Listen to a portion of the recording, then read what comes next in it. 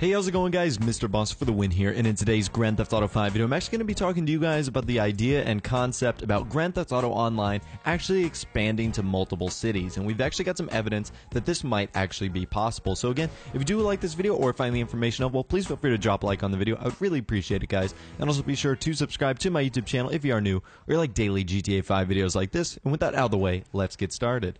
So the only reason I'm really bringing up this topic is because of a post that was found on the GTA 5 Reddit a few days ago, maybe even a few hours ago when you see this, and essentially it is some concept art of three cities, Los Santos, San Fierro, and Las Venturas. And if you don't know, that is Los Angeles, San Francisco, and Las Vegas. And those were the three cities that you basically played in in San Andreas. Now, if you don't know, GTA San Andreas had the largest map scale ever. You had to play in those three cities. It was huge. You got to go to three different places, and it made sense because it was pretty much geographically correct. Now, I'll put another image on the screen right now for you guys, and it's essentially the location of San Francisco to Los Angeles, Los Angeles to Las Vegas, and Las Vegas to San Francisco, and that concept art kind of matches up as well.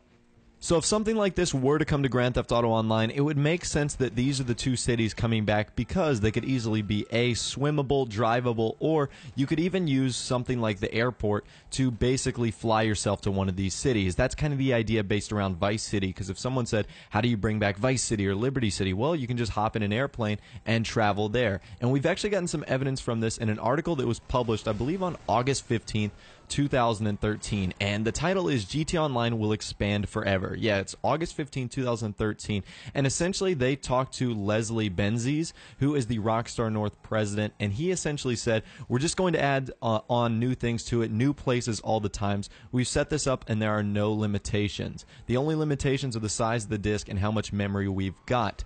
So essentially, maybe we could be talking about a future different cities DLC on a new generation of console because Leslie Benzie brought up the issue of, you know, the current generation of consoles and how they couldn't really handle that. And it's something that I think is really cool.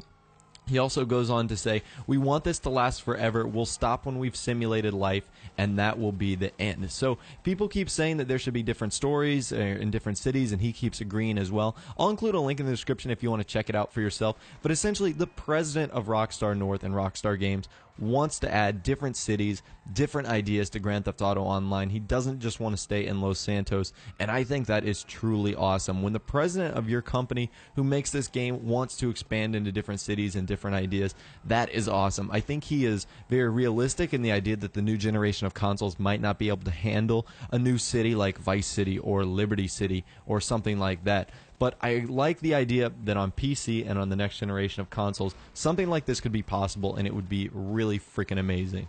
So let me know what you guys think of in the comments section down below. If you could only have one city to come to the Grand Theft Auto 5 universe, let me know what it be. Would it be San Fierro, Las Venturas? Would it be Vice City or Liberty City? Leave your comments in the comment section down below and why you like that city so much. Also, again, if you do like the video or find the information helpful, please feel free to drop a like on the video. I'd really appreciate it. And also be sure to subscribe to my YouTube channel if you are new or you like daily GTA 5 videos like this. With that out of the way, guys, like I said, thanks for watching. Take care, and I'll see you guys in the next video.